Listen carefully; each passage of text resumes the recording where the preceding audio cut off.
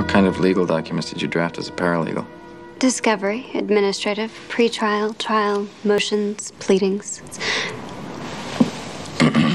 What's your dictation speed? 120 words a minute. How fast can you shimmer across town? 30 miles in two seconds. Demonic powers. Fireballs, shape shifting. Your last kill? Two years ago. Two years ago. Why so long?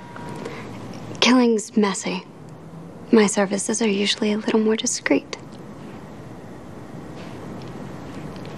I'll give you a trial run. Julie, I'm trying to separate my wife from the harmful influence of her sisters. The charmed ones. It's very important for me to keep Phoebe away from them. She might be pregnant with my son. You almost say that like you love her. And part of me does, unfortunately. Anyway, my plan is more insidious than overt.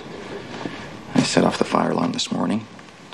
I'll cut the power this afternoon, whatever it takes to make Phoebe's home feel cramped and unlivable. And seduce her with the promise of a better life. Exactly. But it takes caution. Focus. I need someone to cover me at work. Watch my back. Well, I'll watch whatever part you want.